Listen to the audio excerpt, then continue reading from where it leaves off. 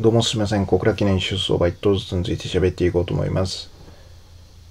まあ、現時点では不良馬場なんですが、多分雨は降らないという予報なので、だんだんと回復して、重かやや重ぐらいになる可能性があるかなとは思うんですけれども、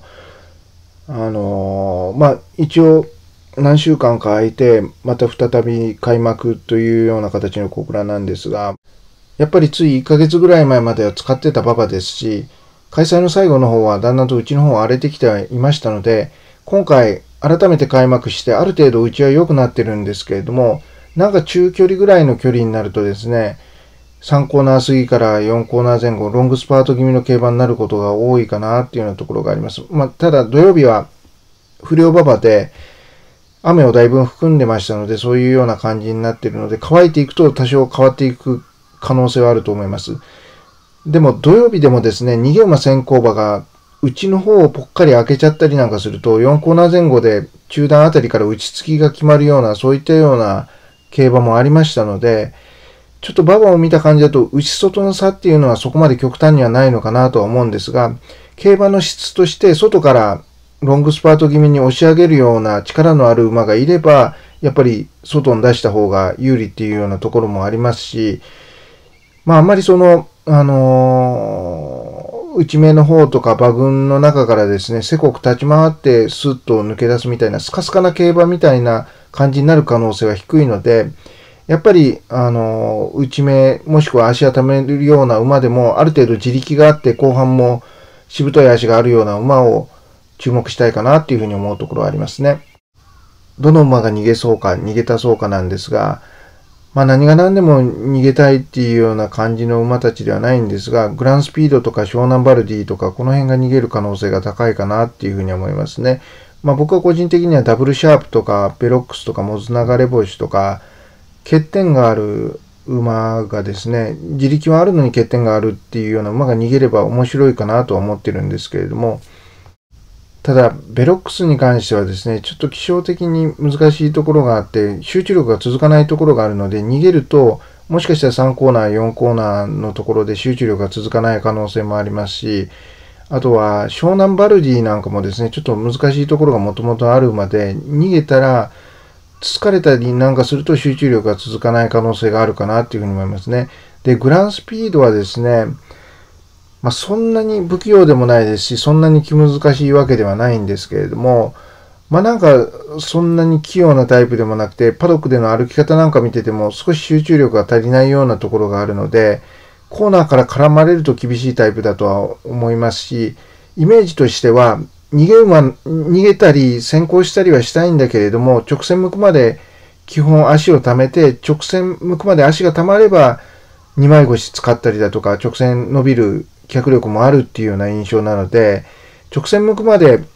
ストレスをかけられて、直線向くまでにグランスピードの欠点が出てしまうと、止まりやすいタイプでもあるかなっていうふうに思いますんで、まあ、そう考えるとやっぱり逃げる可能性がある馬たちっていうのは欠点を抱えてるので、あんまり他のジョッキー、2番手、特に2番手のジョッキーとかがですね、楽させすぎるような感じじゃなければ、差しも効くんじゃないかなっていうふうには考えてるんですが、まあ、その辺は馬場とか展開とか、いろいろ影響してきますので、わからないところではあるんですが、それでは右の方から1頭ずついきます。R スター。R スターは小倉で重賞勝ってまして、その時っていうのは全体的にペースが流れて、それで R スターは後方内の方で足を溜めて、スコーンと抜け出すような形なんですよね。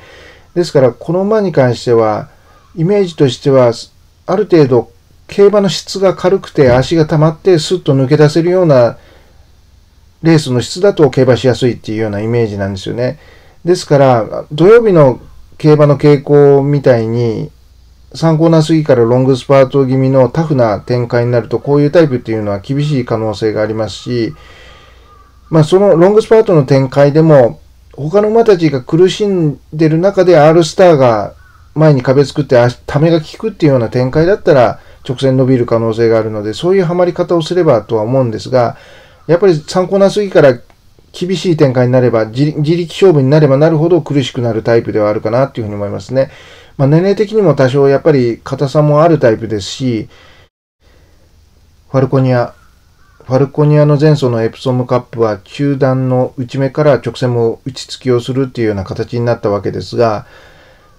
まあ、ちょっと内の苦しいところに押し込まれたような感じもあって、馬群全体がちょっと外に行ったんですよね。ですから、打ち突きをしたんですが、そこまで極端な打ち突きっていうような感じでもなかったんですけれども、まあ、それでもやっぱり外からスムーズに加速した馬たちの方が有利な展開ではあったので、内にいたファルコニアは、ラスト数十メートル、数百メートルっていうところは苦しい進路取りにはなったかなっていうふうに思いますんで、力負けとかではなくて、スムーズにいかなかった、ちょっと展開のあやというか、進路取りのあやみたいなところが響いたかなというような内容で、ファルコニア自体は自力つけてきてますし、右回りの競馬なんか見てても全然馬群でも問題ないレースが続いてますし、まあ、このメンバーだったら、やっぱり安定感という意味では一番あるかなというふうに思いますし、川田騎手もちょっと不安定なレースが続いてたんですが、小倉に関してはいいレースが続いてますので、まあそういった意味では、まあ今小倉だったら川田騎手が一番信頼性も高いということ、ファルコニア自体も乗りやすいタイプということで自力もつけてて、56キロという斤量ではありますけれども、ここではやっぱり信頼性に関しては一番かなっていうふうに思いますね。ただ、あの欠点が少なくなってきてて、馬群の中からでもポジション取っても競馬できるっていうことは、展開のあやみたいなものに紛れが生じる可能性があるので、そういった時には、例えば、あるある程度いいポジションを取って競馬している中で、そこで、前が壁になってるうちに外から他の馬たちがロングスパート気味に来たりだとか、自分で正攻法の競馬をしても目標にされて、早めにワッと来られちゃったりだとか、そういうような展開もあり得るので、まあ、例えば馬によっては正攻法の競馬してて、後ろの馬たちに目標にされても、叩き合いになったらグイッと出る足があるとか、そういうような感じだったりする馬もいるんですが、ファルコニアに関しては自分の足はあるんだけれども、やっぱりその、いいところでためて、いいタイミングに仕掛けていい進路を取って、いい形で直線も足を使うっていうような形じゃないと、やっぱり、あの、抜きに出たものがあるわけではないので、まあ、全てにおいて総合点をつけるとナンバーワンにはなるんですけれども、やっぱりその、いろんな競馬ができるが上に、なんか変な流れに巻き込まれる可能性もあるっちゃあるんですよね。まあ、まあ、ただ基本的には一番有力馬かなっていうふうに思ってますね。グランスピード。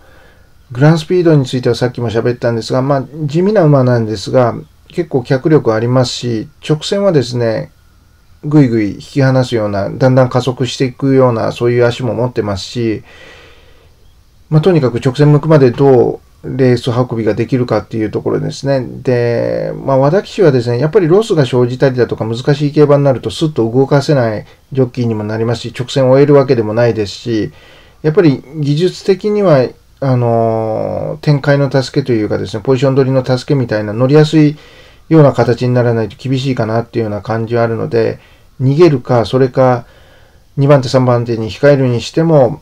スッとついていきやすいポジションから、温めやすいポジションからっていうような競馬ができればっていうところで、とにかく、まあ、最初に言った通り、このグランスピードっていう馬は、コーナーで足を使っちゃうと厳しいところがあったり、ストレスかけられすぎちゃうと厳しいところがあるので、直線向くまで足を溜めれるっていうことが前提かなっていうふうに思いますね。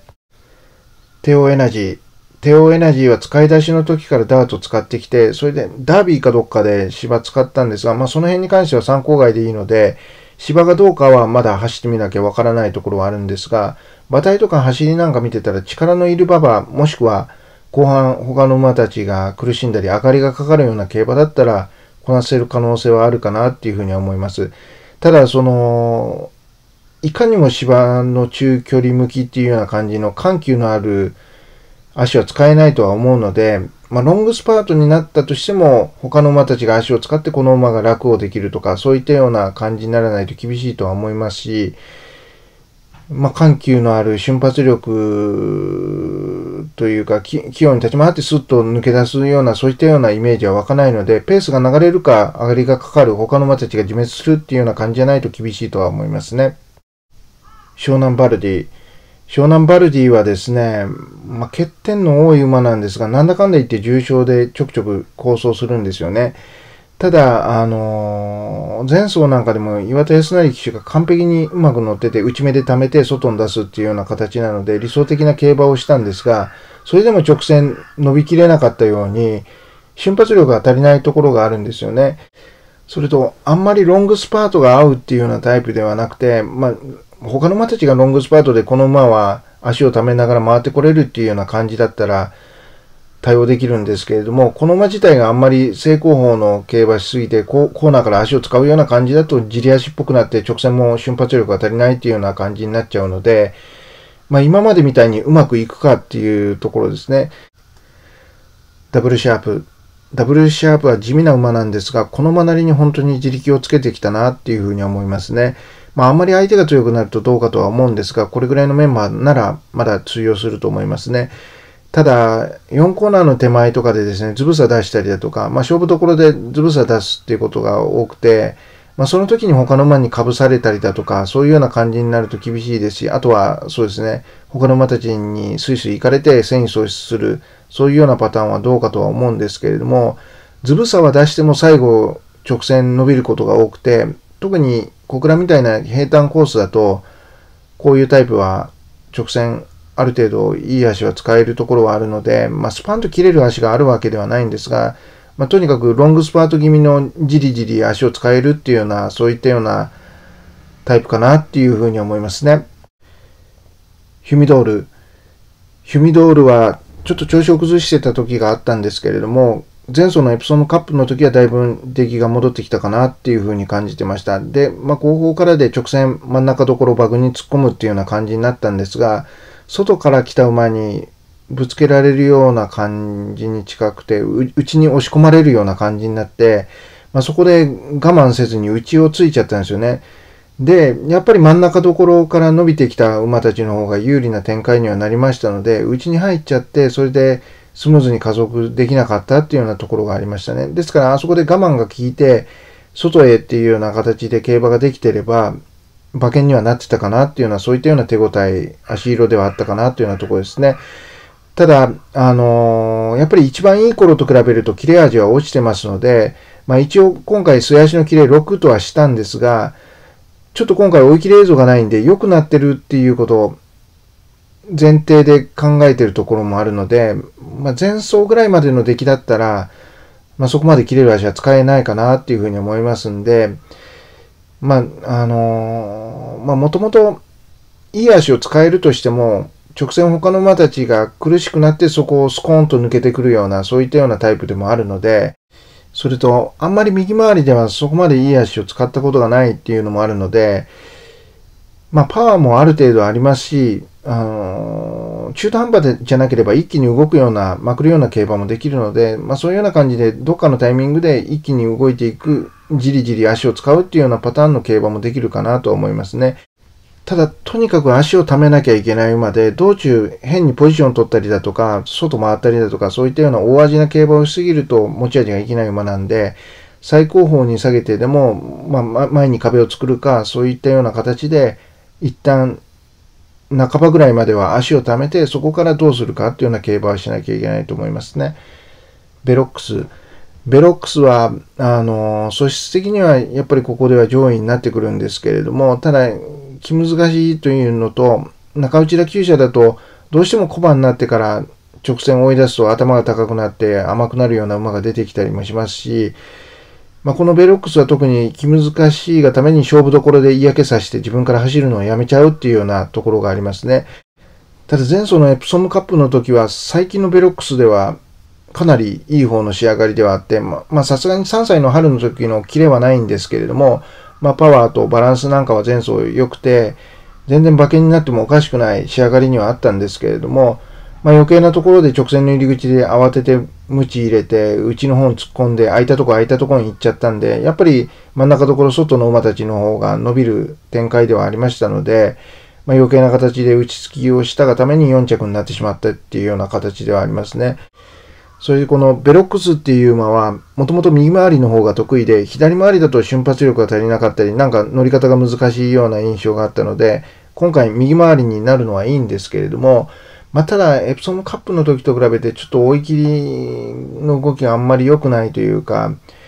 気配がいまいちなので、まあそういった意味ではどうかっていう、あの、気難しいところで出たり、走るのをやめちゃわないかとか不安があるのと、あとは、浜中騎手はやっぱりこういう追わせるような馬とか気難しい馬全然得意なタイプでもないので、まあ、やっぱり乗りやすい競馬になるということですね。それかどっかのタイミングで一気に動くとか、それぐらい強気な競馬をするときがたまにあるので、浜中騎手、比較的、あの、小倉では、好騎乗もあるんですよね。まあ、それは、あのー、大胆に乗れた時っていうことが多いんですけれども、まあ、中途半端になると、やっぱり技術的なマイナス面が出てしまうんですけれども、そういったような浜中騎手の小倉を得意としている時の浜中騎手のいいところが出て、大胆さが出れば、一発はあるかなとは思ってますね。モツ流れ星。モツ流れ星は、まあ、53キロなら斤量は軽いですし、面白いところはあるんですが、ま、ただこの馬は能力はあるんですけれども、まあ、ちょっと乗り方に注文がつくところがあって、まあ、あんまりその中途半端なポジションから気温立ち回ってスッと抜け出すっていうようなタイプではなくて、逃げか先行してばらける展開からスッと抜け出すか、それか極端に下げて追い込むか、それかどっかで一気にまくるとか、そういうような競馬が合うんですよね。ですから、あのイメージとしては、4コーナー前後からはですね、なだれ込むような足というかですね、勢いつけて回るような競馬が合うっていうようなところですね。まあ、あの、食べたら食べたらで、それなりにじりじりとは伸びるんですが、まあ、それに関してもやっぱり、あの、馬群の中から用意ドンみたいな競馬よりかは、スムーズに加速がつく、だんだんと加速がつくっていうような競馬が合うっていうようなイメージですね。そういった中で、なんか変に、あの、用意ドンに近いような競馬をしてしまうような時とか、合わないような競馬もしてきたところがあるので、成績的にはそこまでパッとしてないんですけれども、まあ、この馬は、あの、まだまだ走る能力がありますし、ここでも全然やれる能力があるので、まあ、調子の方もいいので、そう考えると買いたくなるところはあるんですが、やっぱりその、乗り方に注文がつくという中で、松山騎手や調教師さんが的確な指示をできるか、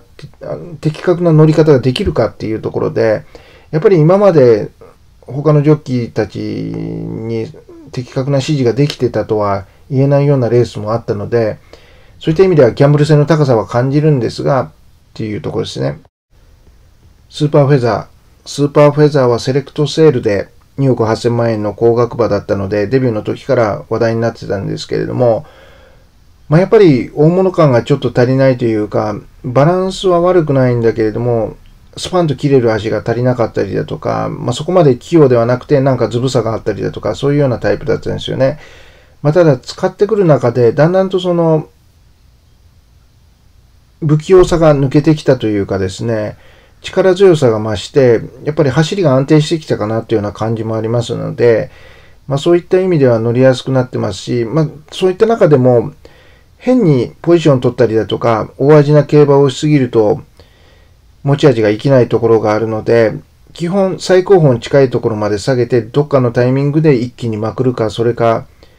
他の馬たちに足を使わせて、じりじり足を使うかっていうような戦法が合うんですよね。で、他のジョッキーだったら、なんか中途半端なことしないかなっていう不安が強くなっちゃうんですが、武豊騎手だと多分腹くくってスタート直後は下げる可能性が高いかなっていうふうに思っていて、そうなってくると、土曜日の傾向と同じようなレースが続けば、勝負どころから外から進出するっていうような、もしくは一気に行くっていうような、そういったような競馬がはまる可能性もあるので、まず、武豊騎手が僕がイメージする通りに腹くくって後ろから行くということを、それで、さらに土曜日に土曜日の中距離の小倉の競馬でよくあったような展開で、ロングスパート気味の競馬でっていうことになって、外からの追い込みがある程度効くような展開にはまればっていうこと前提なんですが、そのイメージ通りに行けば、はまる可能性があるので、穴馬として面白いかなと思うんですが、まあ、そのイメージと違うような感じで、だんだん馬場も変わってきて、前が残ったり、内の方から小細工で立ち回れるような馬場になったりなんかした場合だと、ちょっときついかなっていうようなタイプではあるので、やっぱりスパンと切れる足が足りないところがあるので、やっぱり後半、他の馬たちが苦しくなる、上がりがかかるような展開が合うかなっていうようなタイプではあるので、そういうような形でハマってくれればなっていうふうに思っているところはありますね。まあ、とにかく以前と比べてしっかりとして勝負どころでの反応も良くなってきてはいますので、まあ多分レースの中盤ぐらいで乗りやすい展開になるかどうかとか、そういうことはわかるとは思うので、勝負付けがつくようなタイプではあるとは思うので、まあ安心して後半見れるようなレース展開になってくれればなというふうに思いますね。以上です。失礼します。